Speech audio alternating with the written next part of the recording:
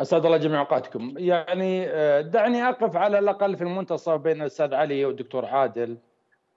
أه تبقى تسريبات من صحيفة يعني صحيفة إماراتية مرموقة ومعروفة لكن يجب أن لا تكون بالفعل مسلمة لكن يمكن أن يستنار بمثل هذا الطرح. لكن النقطة الأهم في رأيي أن هناك وساطة عمانية ووساطة قطرية واضحة جدا في أه لتسريع تقريب وجهات النظر.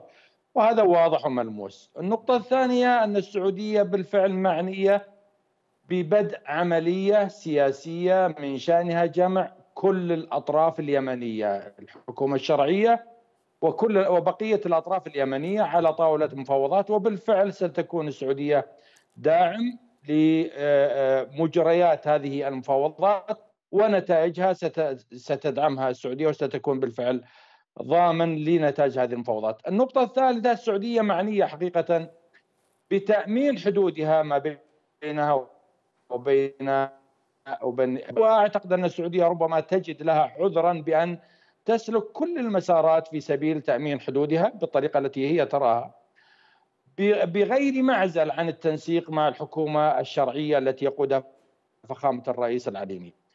النقطة الرابعة أيضا وهذا لمسه كمراقب أن الولايات المتحدة الأمريكية قالت على الأقل في المؤتمر الصحفي الذي عقد عبر الهاتف للمبعوث الأمريكي قال أن الولايات المتحدة الأمريكية ستؤيد كل ما تراه السعودية يحمي أمنها ويسهم في إيجاد عملية سياسية. بمعنى أن الولايات المتحدة الأمريكية كما أشار الدكتور عادل بالفعل ستكون مجبرة على الأقل في هذا الظرف بأن تؤيد الرأي السعودي. ولذلك في يعني لا أستبعد وجود مفاوضات بالتنسيق مع الحكومة الشرعية بغير معزل عن الحكومة الشرعية، أنا اجزم أن الحكومة الشرعية على اطلاع بأي مفاوضات قد تكون جرت لكن هناك تنسيق عالي جدا مع الأشقاء في سلطنة عمان مع التأكيد السعودية على الأشقاء في سلطنة عمان بالوقوف في الموقف المحايد بين الطرفين ما بين الشرعية والمملكة العربية السعوديه والاتحاد العربي. وما بين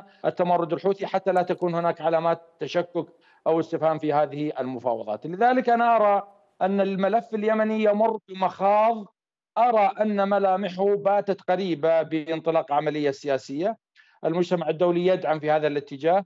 كما أشرت أنت قبل قليل وكنت أريد أن أشير إليه بالفعل سفراء الاتحاد الاوروبي وذهابهم إلى اليمن بكل تأكيد أنها رسالة واضحة جدا لدعم هذه الجهود. لذلك يعني أنا أرى بعين تفاؤل بأن الملف اليمني سيشهد انفراجه لكن هناك معضلة أراها يعني بدأت المس هذين اليومين مع وجود الهجمات القوية جدا التي شهدها الداخل الإيراني باعتقادي أن هذا ربما يؤخر أو يعرقل أو يفرمل أو يجمد هذه هذه الأجواء نظرا لأن إيران بالفعل بكل أسف تختار الخاصره الأضعف للانتقام من إسرائيل أو انتقام من العالم الغربي وربما تعود إيران لتمجيد أو لتجميد هذه المشاورات إلى وقت لاحق.